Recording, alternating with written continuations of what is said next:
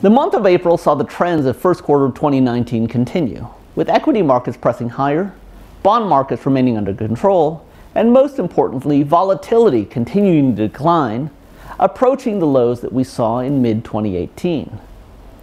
Like that period, April provided an opportunity for investors to focus on risk management. And in our portfolios, that meant adding capital protection into our equity allocations.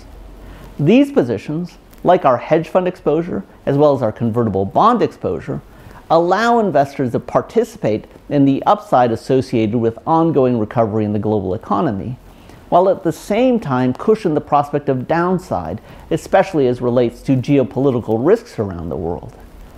Indeed, in May, the new trade war between the US and China rekindled. This reminds investors of the new risk management environment they're facing going forward. For more information on how we manage risks in portfolios, please visit us on ubp.com.